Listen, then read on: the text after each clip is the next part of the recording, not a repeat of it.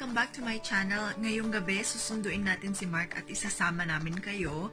Um, yayayain ko siya sa paborito namin puntahan kapag malamig yung weather. Yung place na yon very sikat siya dito sa Niagara Falls for their wonton soup. Super sarap. Lahat ng locals dito sa na, taga Niagara Falls talaga halos kilala nila yung restaurant na yon.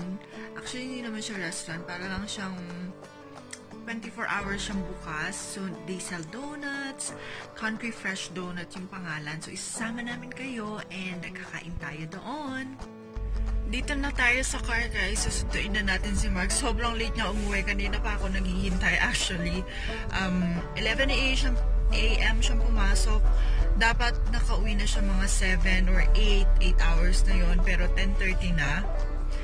So, nag-overtime siya. Susunduin natin siya and then um, kakain tayo ng soup sa favorite namin place na kainan ng soup. And um, share ko lang sa inyo, talagang masarap doon. So, kung pupunta kayo ng uh, Niagara Falls, I suggest you try their wonton soup there. And um, yeah, I'll bring you guys with me. Uh, pinapa-warm ko lang ng konti yung car. Sobrang lamig actually. Uh, kung makikita nyo, nagmo-moist pa siya. But, yeah, let's go!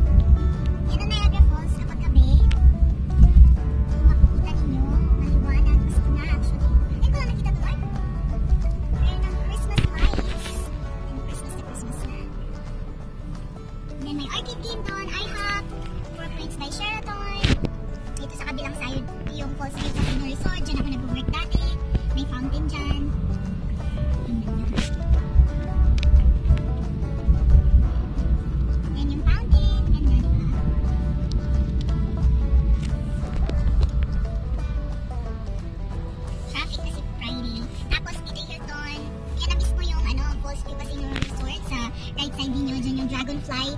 Yung paboritong gimikan ng mga kabataan dito. Hindi na kami kabataan.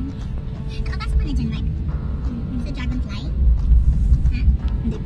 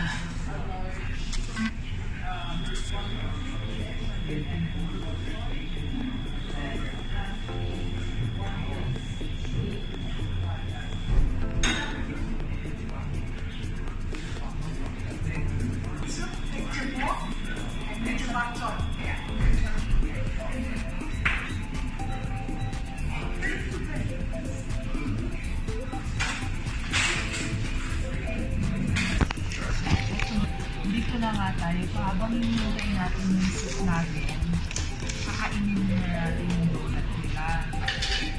Ito yung marble donut.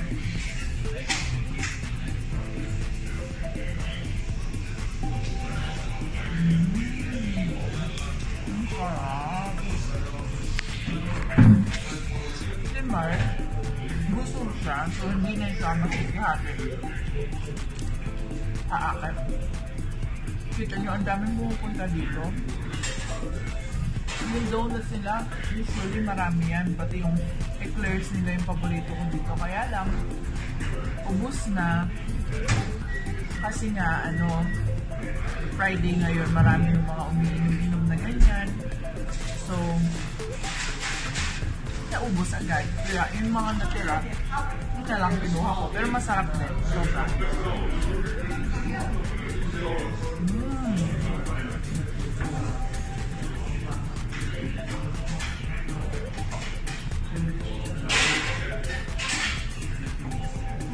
Mo? Gusto. Mamaya, kakainin yung iba pag ganito yung sa bahay. Dahil yung soup nila mainit. Lagi pag umu-order akong soup, sabihin nyo, extra bok choy and extra meat. Mas masarap siya nun.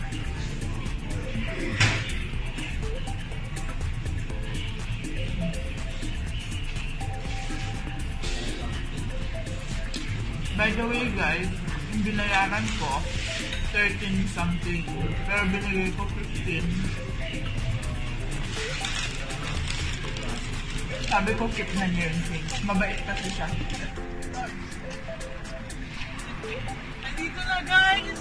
Wonton soup natin. Excited na akong kumain. Si Mark yung papag-drive natin kasi kakain ako ng donut sa sasakyan.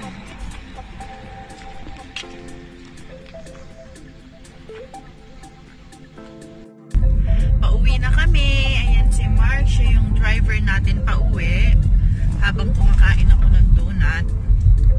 Ang sarap talaga. Hindi ko alam kung hindi yung mga donuts nila kasi hindi sila masyadong matamis. In between sila ng matamis at ano bang tawag dito? Basta sakto yung lasa nila masarap. Pero yung gusto ko sa kanila yung mga eclairs nila pero wala, naubos na nga. So yung donut na lang yung kinuha natin.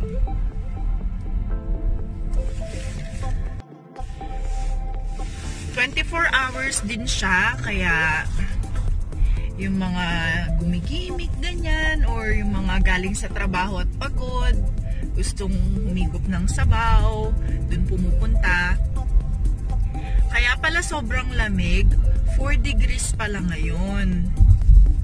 4 degrees Celsius. So napakalamig.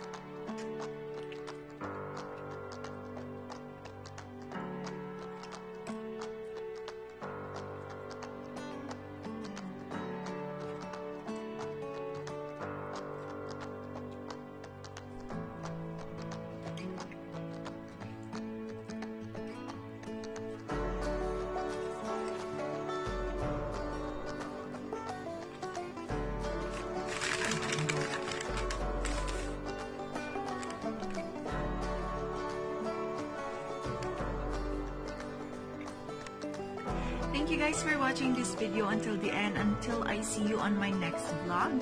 Super sarap ng kinain nating wonton soup. Ang sarap na ng tulog ko niyan. And may natira akong konti. I can eat that tomorrow morning. Pati yung donuts ko. So, may breakfast na ako bukas. I don't need to cook. You guys enjoyed this. Kung papasyal kayo sa Niagara Falls or kung nasa Niagara Falls man kayo, you have to try their wonton soup sa Country Fresh Donuts. Masarap talaga. And thank you guys for watching this video until the end. God bless you always. Don't forget to subscribe to our channel. Bye! Guys, si Mark nasa washroom nakita ko. Meron siyang tip. Buksan natin. Papagalitan tayo. Hindi sa atin ito bubuksan natin. Pero buksan natin. May tip si Mark.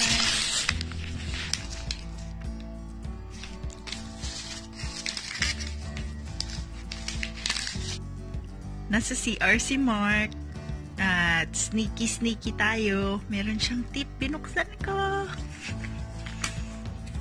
Yan. May tip si Mark ng 20, 40, 60, 80, 100, 20, 40, 50, 60, 70, 80,